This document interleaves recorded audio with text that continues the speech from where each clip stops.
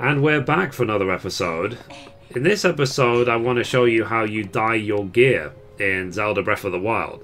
And as always, hello from Link and the creepy kid who's just decided to walk in on the episode. Now, where you need to come, you need to go to Hateno Village and you will find this here, this dye shop. So you walk straight in. You can see, like, you just walk straight into the house and you talk to this guy. And he will basically dye your gear, but you know you have to bring materials for it and pay 20 rupees as well. And the good thing is, it's like it, it does tend to be relevant the items you need to dye the gear, you know?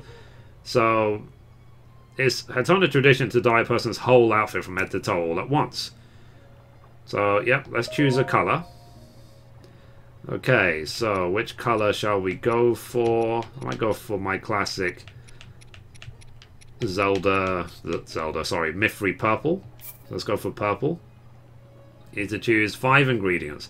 Now, it will only let you choose ingredients which you see are actually purple. So anything which is actually purple, it will let you use as dye. So what's actually not that important? Swift fire, I might keep that. What's this? Rush room, I need those. Let's use this armor armoranth. So five of those. Okay, 20 rupees? Yes. Thanks for the business. Right. And he basically just drops you in that vault with those items.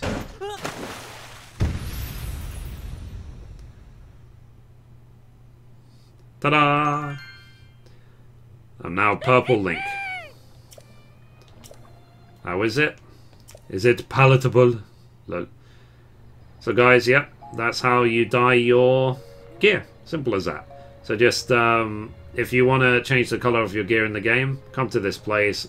Make sure you have plenty of materials. Pick the color you like. And go for it. Why not?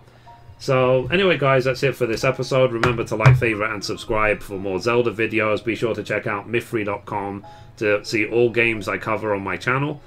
And yeah, so thank you guys. Bye. Bye bye.